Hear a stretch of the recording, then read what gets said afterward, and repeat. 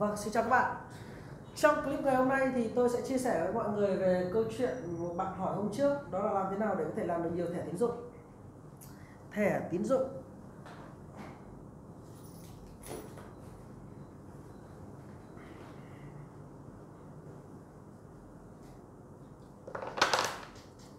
Để có thể làm được nhiều thẻ tín dụng thì như vậy các bạn phải xác định điều như sau. Đầu tiên là chúng ta sẽ thấy thẻ tín dụng thì nó có hai cách để có thể làm được.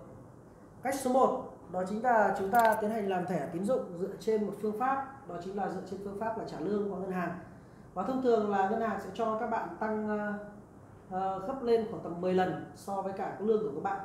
Có ngân hàng cho thấp hơn. Ví dụ như là lương bạn được ờ, 7 triệu một tháng thì bạn sẽ được tối đa là được một thẻ tín dụng 70 triệu để các bạn có thể tiêu. Đấy là đối với việc trả lương qua ngân hàng. Còn hình thức thứ hai là thông qua việc là bạn đã được ngân hàng tổ chức này người ta công nhận là bạn có tín dụng tốt. Thông qua việc thứ nhất là bạn có sổ tiết kiệm tại ngân hàng.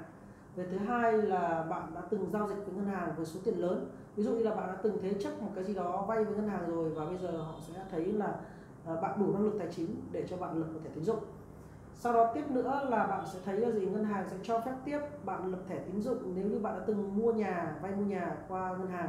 Hoặc là bạn có công ty, có cửa hàng, có hoạt động kinh doanh mà người ta nhìn thấy được dòng tiền đều có báo cáo tài chính tốt thì họ sẽ cho các bạn được thẻ tín dụng. Thì như vậy à, với những bạn bình thường, khi mà chúng ta chưa đi làm mà muốn có thẻ tín dụng thì các bạn có thể làm bằng nhiều cách như sau. Ví dụ như là các bạn có thể nhờ anh em, bạn bè, họ hàng, ai đó có doanh nghiệp và nhờ họ trả lương qua công ty, chuyển khoản cho các bạn. Ví dụ bạn đưa cho họ tiền, nhờ họ chuyển khoản cho bạn một tầm 3 đến 4 tháng để chứng minh là bạn đã được nhận lương thông qua tài khoản ngân hàng. Và sau đó thì bạn sẽ có thể làm một cái hợp đồng lao động với công ty của người bạn, các bạn. Và sau đó thì ngân hàng sẽ cấp cho các bạn một thẻ tín dụng dựa trên cái mức lương mà bạn nhận được ở bên công ty đấy. Thông thường bạn phải làm tối thiểu sau khi tầm 3 tháng thì họ sẽ cho bạn cái thức để lấy được thẻ ngân hàng và thứ hai có thể là bạn nhờ dịch vụ. Có một số đơn vị người ta sẽ làm dịch vụ cho các bạn làm thẻ tín dụng dựa trên việc là họ cũng có doanh nghiệp họ có đủ tất cả các vấn đề về giấy tờ.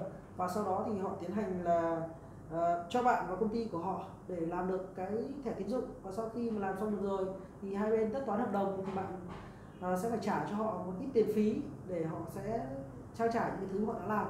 Cách thứ ba nữa thì bạn có thể lập một sổ tiết kiệm ở ngân hàng ví dụ như là bạn có thể gửi vào ngân hàng 100 triệu 50 triệu 200 triệu, sau đó thì ngân hàng sẽ cấp cho bạn cái thẻ tín dụng với hạn mức là được 80% số tiền đấy. Ví dụ bạn nộp vào 200 triệu thì bạn sẽ được một cái thẻ đâu đấy nó rơi vào khoảng tầm 160 triệu chi phí bạn tiêu.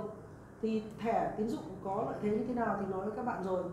Đó chính là nó sẽ giúp cho chúng ta có được nợ ngân hàng trong vòng 45 thậm chí 55 và 60 ngày không lãi, để bạn có thể có nhiều cách để chúng ta sẽ biến dòng tiền trở thành vận hành một cách kinh doanh nhưng cái này nó chỉ áp dụng với những bạn nào làm quảng cáo và kinh doanh thì sẽ có lợi. Còn đem ờ, thẻ tín dụng vác đi chi tiêu sẽ hơi mệt, tại vì nó còn liên quan nhiều đến vấn đề về tiền. Ngoài ra thì ờ, có một số cách khác để chúng ta có thể làm thêm thẻ tín dụng, đó chính là người ta gọi là phương pháp ngang hàng. Khi bạn đã lập thẻ tín dụng hạn mức ở một ngân hàng nào đó và đã được sử dụng trên một năm thì bạn sẽ được các ngân hàng tiếp theo cung cấp tiếp ví dụ như là tôi đã lập thẻ tín dụng ở ngân hàng Techcombank thì như vậy là ở bên VPBank họ sẽ sang ngang cho tôi một thẻ tương tự. Hoặc sau đó thì tôi có thể sang ngang ở bên BIDV sang ngang ở ờ, Start, ờ, Start Charter sang ngang tiếp Citibank hay là các ngân hàng quốc tế. Họ đều có thể lấy cái lịch sử giao dịch ở một thẻ khác để có thể tiến hành làm tiếp. À, và cách cuối cùng bạn có thể có được thẻ tín dụng nữa thì sẽ dựa vào việc là chúng ta sẽ dựa vào tài chính của người khác ví dụ như là tôi có thẻ tín dụng rồi, thì tôi có thể xuất ra một cái thẻ phụ cho một người khác bất kỳ. Và nếu tôi cấp cho họ dùng trên cái hạn mức của tôi, thì họ cũng có thể có được cái thẻ này. Và đây cũng là cách mà nhiều người người ta tiến hành lập thẻ tín dụng cho người khác bằng cách là gì ạ? Họ lập rất nhiều sổ tiết kiệm. Họ lập sổ tiết kiệm xong rồi thì ờ, họ sẽ tiến hành làm sổ phụ rồi họ sẽ làm tài khoản phụ, để từ đó sẽ tạo ra được thêm vài thẻ nữa cho những người khác cùng tiêu trong quá trình tiến hành làm. Thì việc lập nhiều thẻ tín dụng này với hình thức làm thẻ phụ thường được những đơn vị làm quảng cáo. Chúng tôi sẽ tiến hành làm nhiều hơn, tại vì chúng tôi cần nhiều thẻ lập nhiều tài khoản để chạy trong quá trình tiến hành làm kinh doanh. Và như vậy thì à, nếu mà anh chị có thêm câu trả lời hoặc câu hỏi gì liên quan tới vấn đề về kinh doanh và kiếm tiền thì chúng ta comment để lại ở phía dưới clip thì khi đó tôi sẽ tiến hành làm các clip tiếp theo, chia sẻ và trao đổi với chúng ta liên quan đến cách kiếm tiền. Và cảm ơn các bạn đã dành thời gian theo dõi.